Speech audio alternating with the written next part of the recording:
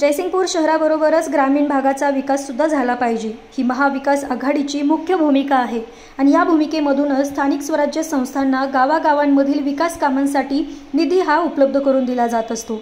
Corona महामारीमुळे राज्यासमोर आर्थिक संकटाचे सावट जरी उभे असले तरी जी विकास कामे मंजूर झाली आहेत त्यांना निधी कमी पडू दिला जाणार नाही असे उद्गार सार्वजनिक आरोग्य राज्यमंत्री राजेंद्र पाटील यड्रावकर यांनी काढले. जयसिंगपूर नामदार राजेंद्र पाटील यड्रावकर यांच्या स्थानिक विकास निधी व शासनाच्या विविध योजनांमधून शिरोळ तालुक्यामधील नवे दानवाड जुने दानवाड राजापूर राजापूरवाडी व खिद्रापूर या पाच गावांमध्ये विविध विकास कामांचे उद्घाटन राज्यमंत्री नामदार यड्रावकर यांच्या हस्ते झाले. यावेळी ते बोलत होते या पाच गावांसाठी एक कोटी एकोणीस लाखाचा निधी मंत्री यड्रावकर यांच्या मंजूर झाला आहे. अंतर्गत रस्ते पाणंद रस्ते सामाजिक सभागृह हायमॅक्स दिवे या कामांचा यामध्ये समावेश आहे. नवे दानवाडसाठी वीस लाख जुने दानवाड बत्तीस लाख राजापूरवाडी पस्तीस लाख खिद्रापूर पंधरा लाख तर राजापूरसाठी सतरा लाखाचा निधी मंजूर झाला आहे.